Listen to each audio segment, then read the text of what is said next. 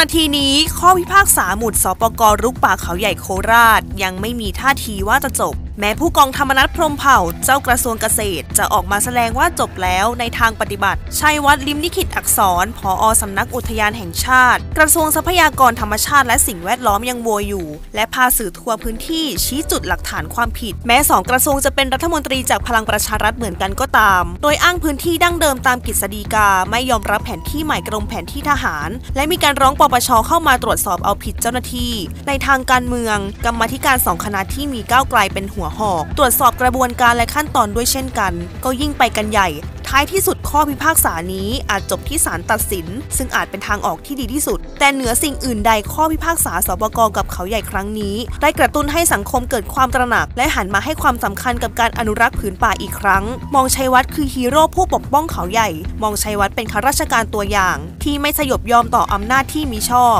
ไม่ยอมให้ประเทศและประชาชนเสียประโยชน์ แม้ในอดีตจะเคยตกเป็นผู้ต้องหาอุ้มฆ่า หรือทำผิดมาตรา 157 และอยู่ในระหว่างอุทธรณ์คดี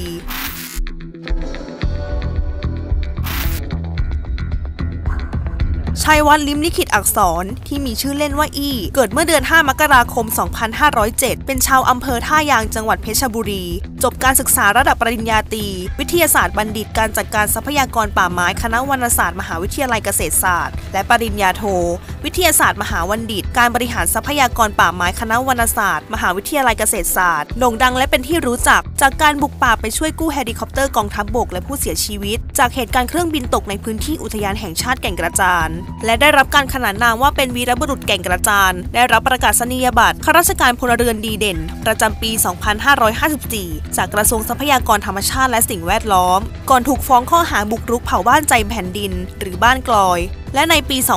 2557 ตกเป็นผู้ต้องสงสัยในคดีการหายตัวไปของบิลลี่ พอลจีรักจงเจริญ แกนนำชาวกะเหรี่ยง กระทั่งปี 2561 กรมสอบสวนคดีพิเศษ DSI ได้รับคดีอุ้มหายบิลลี่ไปดูแล และเดือนพฤศจิกายน 2562 ศาลอาญาทุจริตและประพฤติมิชอบกลาง ออกหมายจับชัยวัฒน์และพวก ในฐานความผิดร่วมกันฆ่าผู้อื่นโดยไตร่ตรองไว้ก่อน ต่อมาในปี 2564 ถูกคณะอนุกรรมการข้าราชพลเรือน กระทรวงทรัพยากรธรรมชาติและสิ่งแวดล้อมมีมติให้ปลดออกจากราชการ หลังคณะกรรมการป้องกันและปราบปรามการทุจริตในภาครัฐ ชี้มูลความผิดฐานปฏิบัติหน้าที่โดยมิชอบ เผาทำลายทรัพย์สินของชาวบ้านบางกลอยในป่าแก่งกระจาน แต่ชัยวัฒน์ได้ยื่นฟ้องต่อศาลปกครอง จนศาลปกครองสูงสุดตัดสินให้ชนะคดี สั่งให้ทุเลาการบังคับคำสั่งกระทรวงที่ปลดออกจากราชการ จึงทำให้กลับมาดำรงตำแหน่งในกระทรวงได้อีกครั้ง และได้รับการแต่งตั้งเป็นผู้อำนวยการสำนักงานอุทยานแห่งชาติ ในเดือนกุมภาพันธ์ 2566 ก่อนช่วงปลายปี ถูกตัดสินจำำคุก 3 ปีไม่รอลงอาญา ตามความผิดมาตรา 157 ส่วนคดีอุ้มฆ่าบิลลี่ยกฟ้อง และศาลอาญาทุจริต ได้ให้การประกันตัวชั้นอุทธรณ์ตีราคาประกัน 8 0 0แสนบาท กำหนดเงื่อนไข ห้ามเดินทางออกนอกราชอาณาจักรทำให้ชัยวัฒน์ได้ทำงานต่อ และกลายเป็นฮีโร่ผู้ปกป้องผืนป่าเขาใหญ่ในครั้งนี้